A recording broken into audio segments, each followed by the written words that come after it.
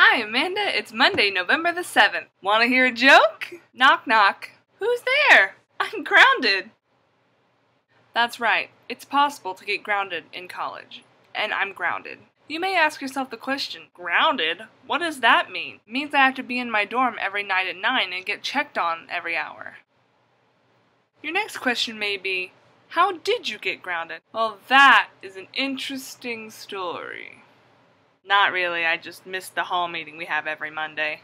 I decided it would be a good idea to go see a movie with some friends, and then I couldn't get back because we all rode in the same car. So I missed hall meeting, and now I'm grounded for a week.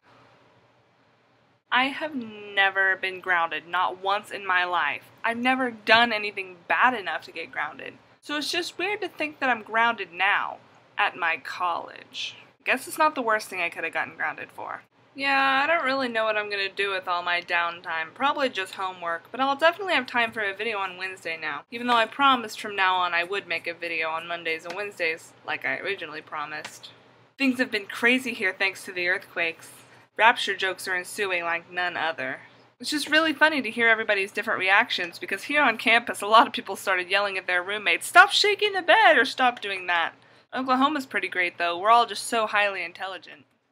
Thought our neighbor's donkey had escaped from his pen and was scratching himself on the trailer.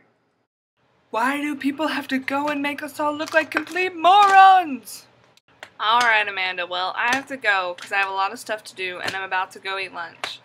Also, I'm really sad that we don't get to go to the Star Tours. But I think I'll. Alright, well, see you tomorrow.